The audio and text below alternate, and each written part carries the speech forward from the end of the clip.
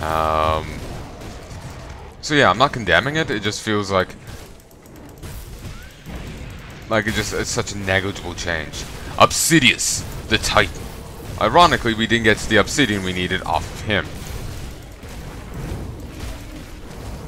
It's in his goddamn name. Black Heart of the Void.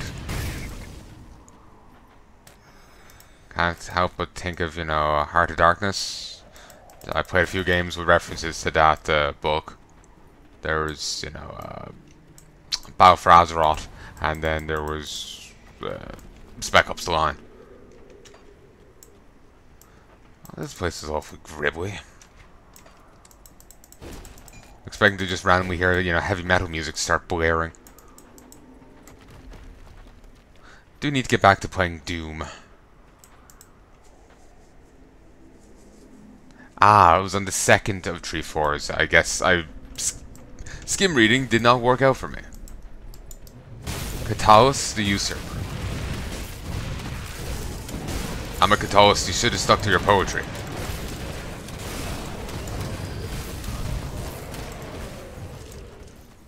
For those who don't get that reference, Catullus was a Roman poet. Apparent well that fucker of life was disturbing. I thought there's a huge like mound beast here. Um Catullus anyway was a Roman poet. Um, he practiced a more modern style of poetry. Back in the day, it was all like epic battles, you know, that kind of thing. Um, like the Aeneid, the Iliad, the Odyssey.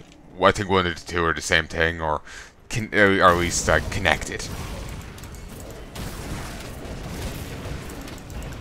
Um, so anyway, uh, you know, he just did like, you know, yo, this I got ting I got a thing for this chick. You know, uh, you know, my brother died. I'm mourning. You know, he he did you know very much more personal and personal topics uh, than you know grand wars and whatnot. So it apparently he was considered to be like worst poet in Rome. I've heard actually some conflicting information about the whole thing. Uh, one said there's a whole movement uh, surrounding it, yet the teachings while we weren't in school was saying that made it sound like it was... Well, they didn't mention a movement at all.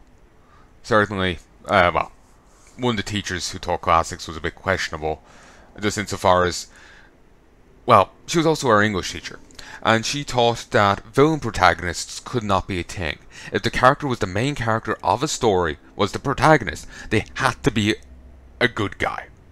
And she was in the middle of teaching us Macbeth, who was a villain protagonist.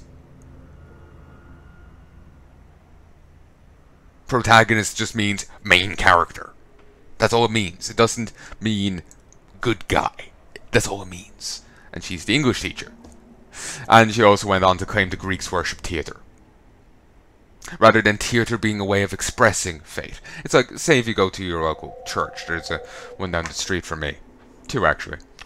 Uh, say um, you, you go to church and you, you, you say mass, you, or, you know, whatever. You know, go, you go to your local religious thing. Oh, Christ, that's, well, that's gribbly. But anyway, you aren't use going to mass to practice and you know celebrate your faith. No, no, no, no. Your faith is the mass. You know, it's reduce. It's taking a way of expressing your faith and turning it into your faith. Even if that's not what she meant, as a teacher of English, you think she would have the capability of expressing that. So yeah, basically, I'm skeptical of whatever she taught us, but there was another teacher and he did seem markedly more competent. Though I actually did surprise him at one stage. Um, basically, I was like, look, and ended up looking stuff up online. We were learning about the triumvirate and then the second triumvirate. The first triumvirate was Julius Caesar, General Pompey, no connection to the city apparently at all. Wasn't even named after him. He came first. Uh, so yeah, there's Julius Caesar, Pompey, and Crassus. Crassus was the richest man in Rome. Julius Caesar obviously was a very accomplished general, as was Pompey. Pompey had never been defeated, um, though he had gotten lucky on many an occasion. There was a rogue general over in Spain, for example, who was taken out by a subordinate who was much easier for Pompey to deal with. The, uh, the gen rogue general was much more of a threat. The rogue subordinate wasn't. Uh, Mithridates gave, kept giving Pompey the slip. Someone else, uh, he took over for someone else, which pissed them off. But uh, Mithridates would rise an army. The army would be struck down. Mithridates would disappear. Then he'll be somewhere else, and he'll have risen an army. He'll be killed, and then he will disappear. He'll have risen an army, and you can get my point. And all the while, like Pompey's like rushing after him, you know, utterly ragged, after having to fight his way through like Amazons. I'm not kidding. That's what they claim they fought. You know, mythical warrior women. Um, no idea if they had lassos of truth. It's unknown if they're actually true or I can't remember the actual historical phrasing for it, but my recollection of it is just simply horny soldier stories. But yeah, they I think it can probably be accepted that they had to fight through other war bands and whatnot in the region in the way to get into Mithridates. Whether or not they're Amazons is up for debate. But um, yeah, anyway, uh, eventually Mithridates ended up committing suicide. One of his sons was dead, while the other one ended up siding with Rome. And with, with that, when that happened, Mithridates uh, killed himself somehow. His he uh, Pompey, being genre savvy and having seen all, uh, all the Rambo movies, turned up to confirm that Mithridates was dead. Um, so yeah, um, so yeah, that was the original triumvirate. These were three very successful, powerful men in Rome who decided to use their power to uh, sidestep the actual ruling party of Rome, the Senate and the consuls, because like Pompey wanted land for his men. The Senate kept vetoing it. The Senate were idiots. They wouldn't pay for their own troops, leading the troops to be more loyal to the generals who paid them out of their own fucking pocket. The Senate, I don't think, even funded like training or equipment. As some other general had to bring in those reforms. Originally, if you wanted to be cavalry, you had to bring your own fucking horse. To, if you wanted armor, you had to bring it yourself. For the rich, they had only two fields of professions politics and the army. Everything else was either for the poor or for slaves like teachers were all Greek slaves. But anyway, um, so yeah, they used the, uh, Julius Caesar used his sway, his his abilities to get Pompey land for his men, while Julius Caesar wanted to keep fighting in Gaul. So he got his way. Uh, according to Plutarch, Julius Caesar was just prepping for his eventual march on Rome, but Plutarch quite clearly hates Julius Caesar and as such, you know, he isn't quite a good source on Julius Caesar. While he does sometimes like begrudgingly accept he's done good, he does quite he does hold the man in quite high contempt. Uh, I remember hearing another criticism of him was that he gets too caught up in moralizing on certain historical events and not enough on actually stating historical events. He ends up missing stuff because of it. Uh, but regrettably, he is actually our only source on a lot of stuff. As far as I know, anyway.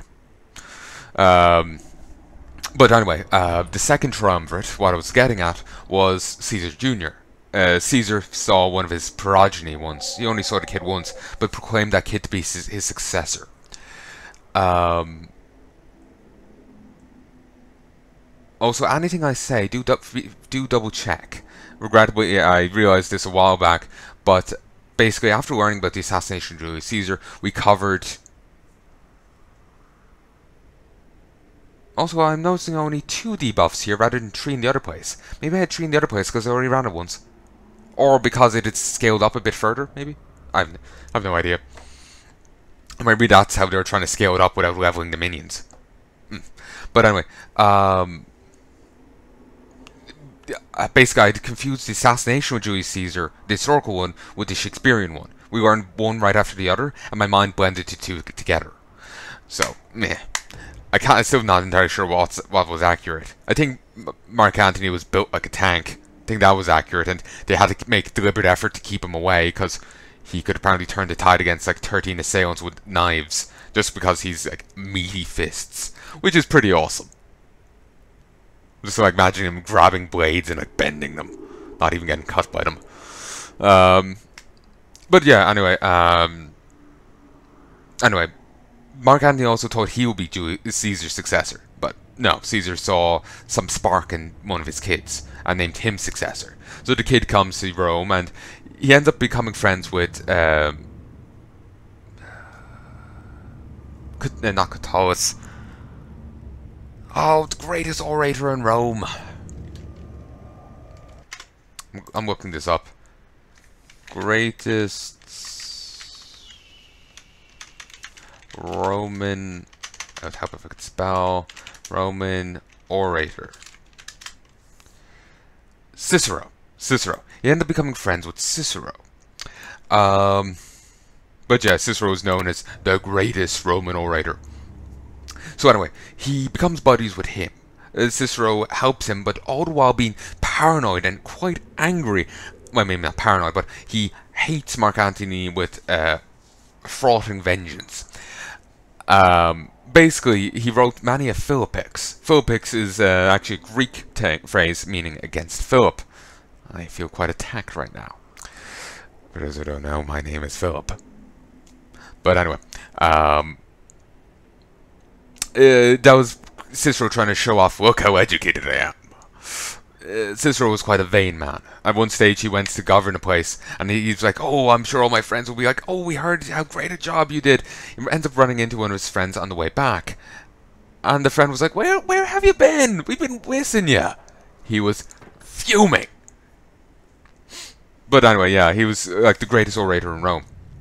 But yeah, he thought Mark Antony was a threat to the Republic. So all while he's helping out Caesar Jr., I can't remember the kid's name, uh, Plutarch called him the young Caesar, and I called him Caesar Jr. as a joke on that, and now I can't remember the guy's actual name. But he's the first emperor. Julius Caesar never became emperor. That's something important. I've seen some uh, say otherwise, but he never did. He was cut down before he even had the chance. I remember Horrible Histories was claiming one of the reasons people hated him was because he had red shoes, a sign of monarchy. Uh, mo everything is about symbols. You wear a bigger hat, you're clearly more important. Everything is about symbols, plumage, you know? So I, am not wouldn't be too surprised if that's accurate. It was in you know one of the audio dramas on CD. They were saying that they didn't have it in the horrible history books, but it was on the audio drama. I remember that. I listened to that as a kid at my nan's. But anyway, anyway. I didn't get rid of that helmet, did I? No, I didn't. So anyway, um, he but yeah, anyway, he uh, Cicero saw Mark Antony as the greatest threat to the Roman Republic, so he kept writing Philippicses and screeds against him. Philippics also it, more it now means more than just against Philip; it means heated tirade. So anyway, uh, Pompey was the greatest orator in Rome, and he was also actually a defense lawyer. Only once did he prosecute, and in Roman law, you get three days for your trial. And even if those days fall on a holiday, that's your trial. If they can't prove you guilty by then, well, oh well. Um, the guy manages to have his trial fall on two holidays, and he figured it wouldn't, they wouldn't have enough time to on the third day. But Cicero was good enough to conv convict him. You know, prove his guilt. Basically, the guy took over governorship after Cicero of that place, and the people came to him because he was embezzling the place, and Cicero was able to prove him and strike him down in that one day trial. He, despite the guy's uh, attempted manipulation of the Roman legal system.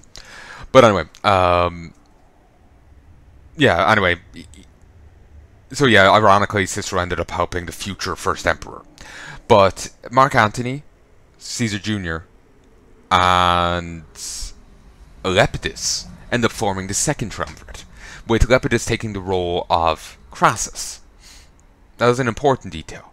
Uh, the detail that started all this story off, just yeah, I end up giving too much backstory, was Lepidus. His father was actually a rogue general that Pompey put down. Normally, when someone goes rogue, their whole families get snacked, you know? They don't exactly walk out of it alive. So the fact that Lepidus was remain was, you know, untouched and important enough to be part of the second triumvirate. Unlike the first, these weren't prestigious people. Certainly, I'm sure Mark Antony had some prestige to him, and maybe the kid as well. But, you know, Crassus was the richest man in Rome, while the other two were veteran generals. And I don't know what Pompey, uh, what, what Mark Antony even did. I know he was built like a boxer, but that was it. And the other guy had was new to Rome.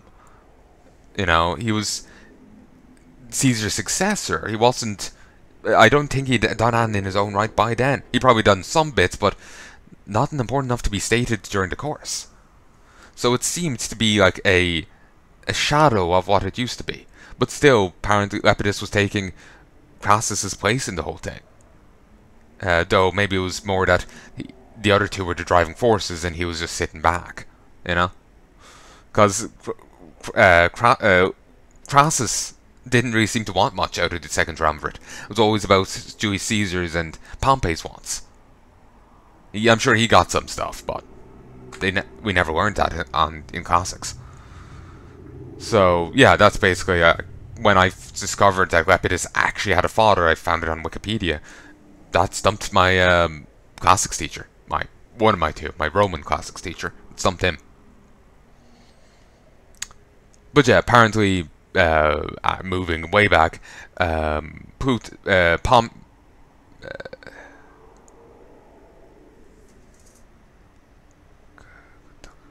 Catullus was apparently known as the worst poet in Rome, and that was because he had a more personal style than the epic battles and the you know the general epics that were wrote.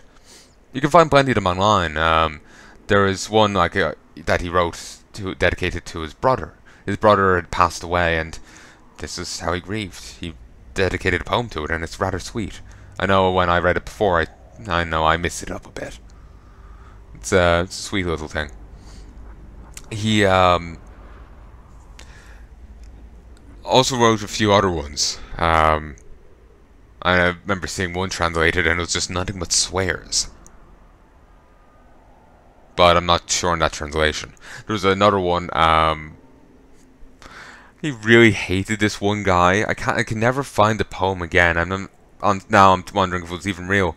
But the poem was, you know, it's just like this guy is, is basically arguing that this guy's utterly disgusting, and that any woman who eyed with him should be, you know, viewed in the same light. Um. But yeah, um, in, in some of his poems, he mentioned a lesbia basically the, the name Lesbia has the same phonetic quality as the woman's actual name. I do believe we actually know the woman's true name, but she was some married woman who's infamous for, well, everyone knew she slept around on her husband. And uh, Catullus had a thing for her, though she wasn't that interested in him. He wrote a fair few poems about her, positively and negatively. Um, so yeah, I know a few of his poems got translated by Lord Byron, I do believe. Um, he was an interesting character. While he was apparently into young boys, he um, had some nicer qualities. Um, at least that's what Wikipedia was saying. Uh, again, it's Wikipedia, but I haven't really had the time to go buy a, you know, the definitive Lord Byron book, you know, uh, autobiography. Um, that's at least what Wikipedia is alleging, anyway. But um, apparently, he brought his bear to school once. He was uh, he went to Trinity College. He was here in Ireland, and uh, he wasn't allowed. Uh, there is a Trinity. He was here in Ireland, right? I think there's another Trinity elsewhere. Here, give me a second. Lord B Y R O N. He was born in the UK, died in Greece, and T R I N I T Y. Trinity College, Cambridge. I only know of the Irish version. Ah, okay. But yeah, anyway, he was over in Cambridge, and um, and I think there's one in America. But anyway, anyway, anyway. Um, yeah, he was over there and he was told you're not allowed to bring your dog with you to school. And he was like, fine. Brought his pet bear instead. Apparently, also uh, personally um, cared for one of his dogs. It had contracted rabies, and he like waited on it hand and foot. He wasn't too scared of even be being bit by it, despite its you know maladies. Um, I remember reading there's some stories online about like letters some of his friends had wrote and that like he had a house just full of animals and the way the animals were pottering about one of his friends was like wondering like you know what you know what person was that in you know in, in another life or you know tran person transformed kind of thing uh, he uh, there's another story I haven't been able to find any proof of this beyond the story but it was just that basically a falling out with a friend so that friend sent another friend uh, maybe the guy from the animal letter I mentioned previously, to go check up on Byron. The friend eventually found Byron in a French brothel, malnourished and dehydrated. When he sends back a letter to the friend that had sent them, the friend responds, keep in mind, Byron isn't involved in any of these letters, it's just between the other two guys. The, uh, the initial friend just says, you should have left him there. And it just... apparently they were good friends, but they're just... It's just, it's funny. Uh, again, I haven't been able to prove that, but it's just a funny story. Just, just found him in a brothel, just, you know, bonking himself to his death. It's funny. He ends up dying. Uh, he actually gets involved in a military conflict over in Italy. Um, apparently, according to Wikipedia, he didn't really achieve any military goals and, you know, achievements. But he did do some good humanitarian work. Uh, he apparently funded care for Muslim and Christian victims of war alike and so much, and he was so much liked over in Italy. There's actually a statue there dedicated to him. It's quite well respected. Um. So yeah, he seems pretty cool. The other point, um, you know, excluding the other point. I what's the right phrasing? Other point notwithstanding. Yeah, he seems cool except for that, if it's indeed true. I again, I only know about Wikipedia. Um, you know, I've only read that Wikipedia entry like maybe twice, three times. I'm surprised I remember as much as I do. When I get interested in something, as I'm sure is true for all of us, you know, you you remember more than you expect you would. if only I was this good when I was actually came to fucking schoolwork, eh? I was never good with it. Could never study, never on. But anyway, let us continue. I've been sitting here gas bagging for like practically an entire episode. If I remember, I'll try and make this a extra long one. Make make it 40 minutes. Though to be fair, I probably should be doing that to begin with. But anyway, um, so yes, uh, yeah, basically go moving ages back. Um, I can't remember quite where I started now. I was making the point about you know, stumping the one teacher, like the one teacher who's also the English teacher, not knowing about villain protagonists, while teaching us a book about a villain protagonist, then stumping the other guy who was markedly more competent, or at least, you know, put that forward, if you get me.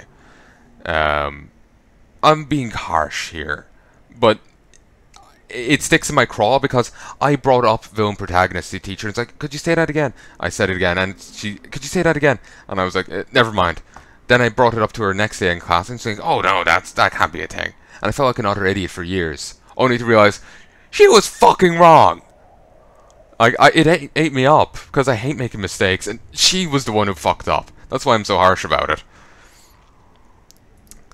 Uh, well, it's not her fault that I felt like an idiot. That's a long list of other people's fault. I mine, mine, my name being on that certainly. Um, I still bear her a grudge. Um, so yeah, I remember making those points, but I can't remember. I feel there's a point before that, but I can't remember it. It's been too long. I was forgetting what I was saying sometimes when I was talking. I was barely like remembering enough to keep the thread going. But uh, yeah, that happened.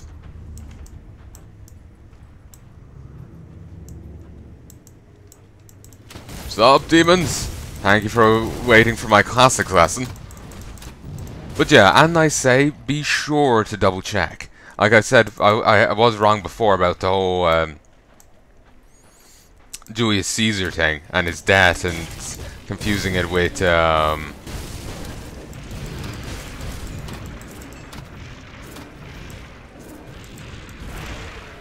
um,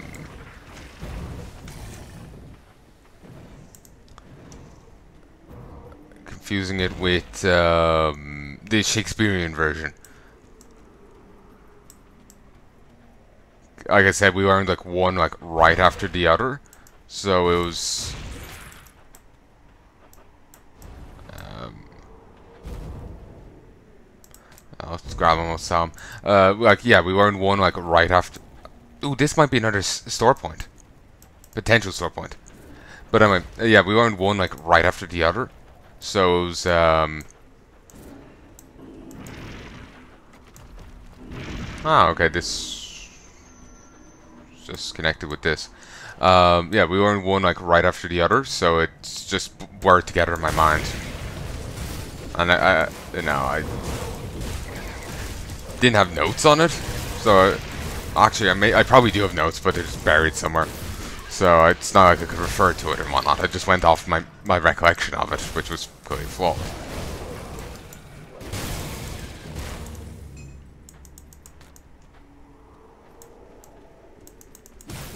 But yeah, basically, double check if you're interested.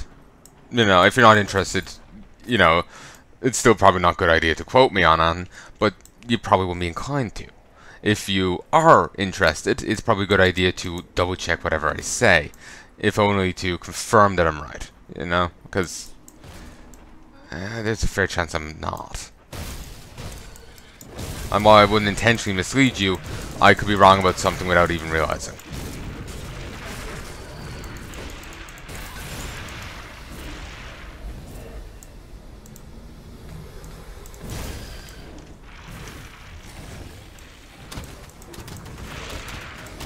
But yeah, basically, I, I wouldn't intentionally mislead you, but I could just be misremembering details. And, um, well, I would hate to make someone wrong and embarrass them like that.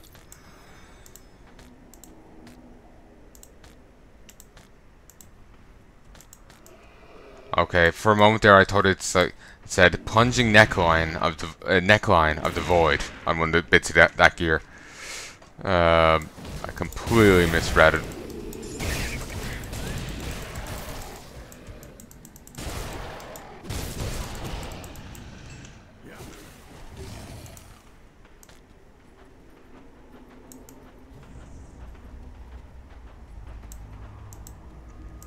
But yeah, just double check whatever I say, not because I would mislead you, but because I could be wrong. I am mortal and all that.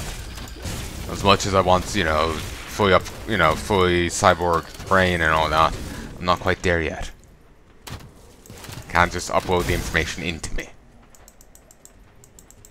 Not yet, anyway.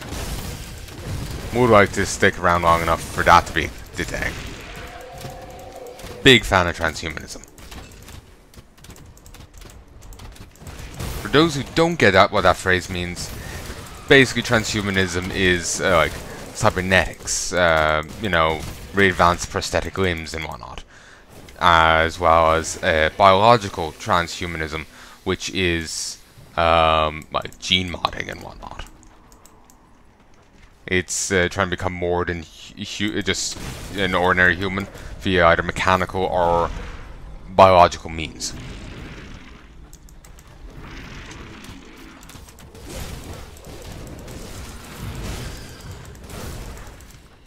Um, certainly uh, none we have right now, but we'll, we'll get there eventually. It's just, it's all a matter of time, funding, and well, that we don't go through some, you know, Warhammer 40k, you know, tech regression. I suppose they have it there too, but it's none of the stuff you would want, you know? Ooh, this looks very much final area. That's locked. Alright, never mind. For, fuck that place. Hopefully there wasn't a shrine over there.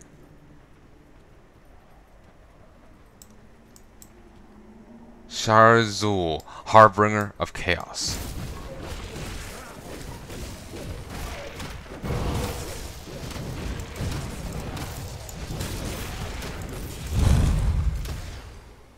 That skill's not ready. I hate those crystals.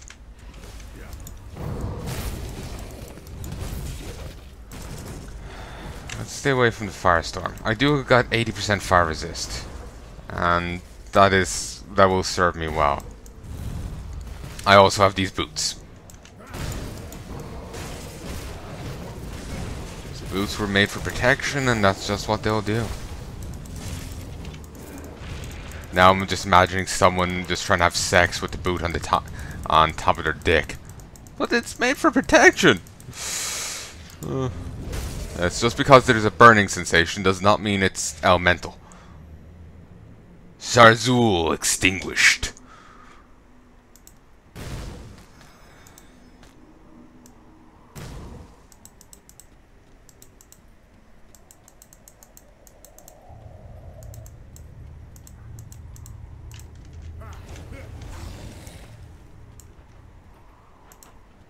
remains obsidian welt transcendence chest obsidian shard obsidian welt cluster.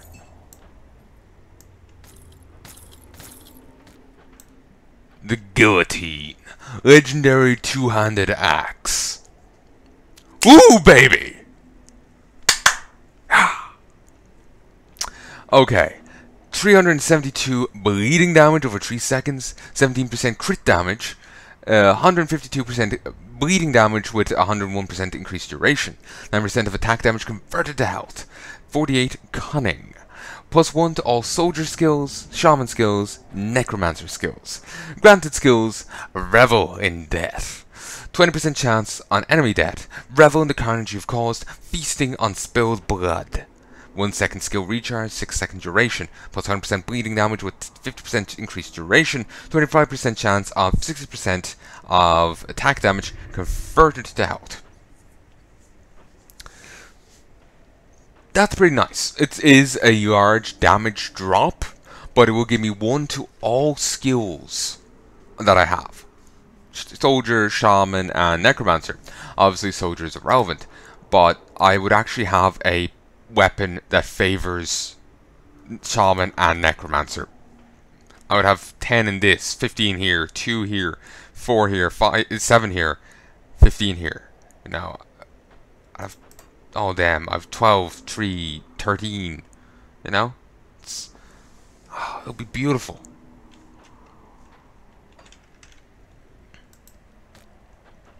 Hulking leg guards. Uh, Heart of Rat. It's I don't one I have, but it's it has less armor. But it gives 55% physical damage, 40% internal trauma damage, 28 physique, 4% physical uh, resistance, and 2 to Heart of Rat. And it also has Earthquake.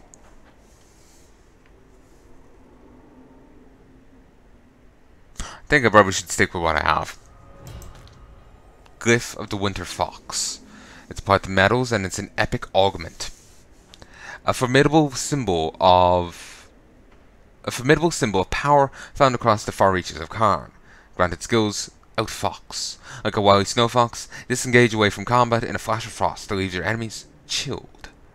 80 energy cost, 4 second skill recharge, 5 meter radius, 13 meter range. Wait, is this one of the new things from the new expansion. Cool. This is damn. Uh, basically, it's a thing you apply to medals. It's a movement ability. Um, 30 meter range. Uh, 3,822 frost burn damage over 3 seconds. Freeze target for 3. 40% slow target for 3 seconds. You know something? A, a, a YouTube channel I miss? Yahtzee Croshaw's. He used to do Let's Drown Out with um, one of his buddies, Gabriel, and uh, it was fun. I remember growing up with those. Well, maybe not quite so growing up with them, but I would say with Tavern Cast. But I was younger, and I have a certain level of nostalgia for it. So yeah, it's just thinking back on it. Want to go watch one of those ep when their episodes of it going to sleep to today. Might get to do um, some Titan quest later. It depends on how today goes, if something going on today, and it may or may not get in the way. So many bones. Like, my god. It's reminding me of the Path of Honor from, um, you know, Outland. Just all those bones. Which was kind of overdone, gonna be honest with you. Like, I'm just thinking, like, okay, there's nowhere near that many Draenei. you know, it's just, like, depopulated, you know, two Draenors for that one road.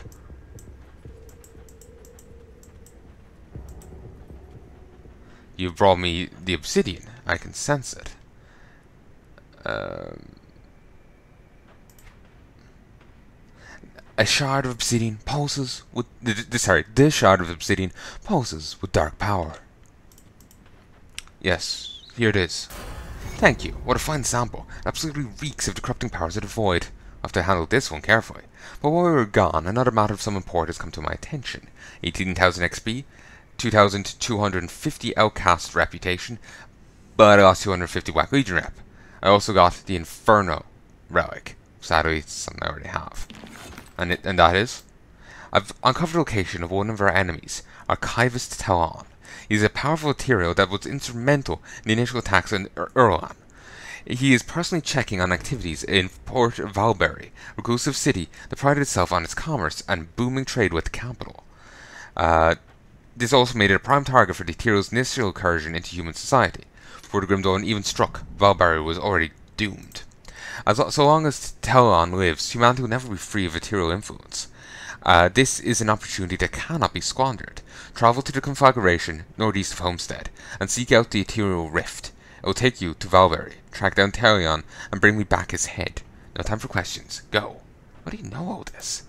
Have I given you reason to doubt me before? I've great sight into the Aetherials, but the opportunity will be squandered if we do not act now.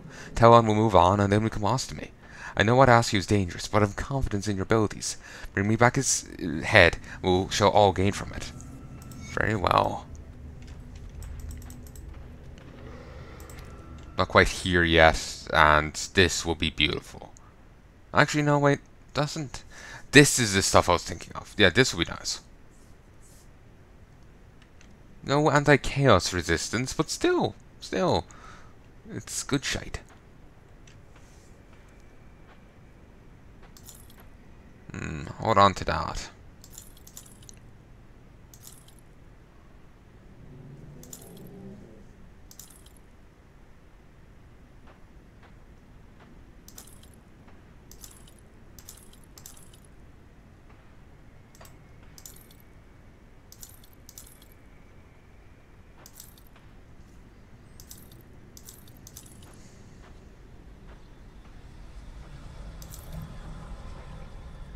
Actually, I should hold on to this. Might be able to reroll it in something else, I'm not sure. I'm not sure if the rerolls count within a set or can be brought into another set.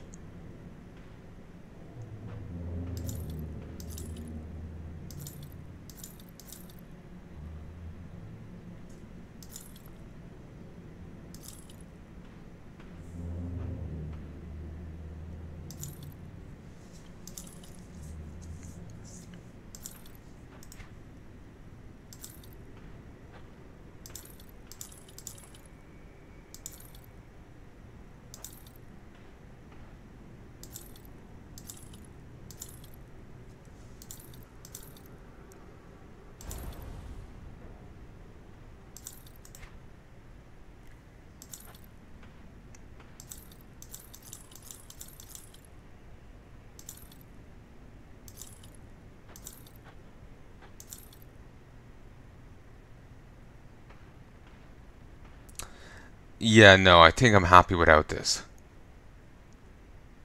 Then again.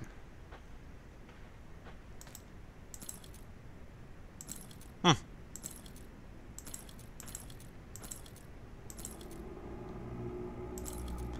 You know, it's...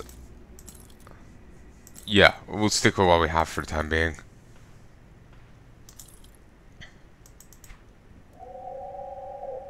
Hmm, it's not bad.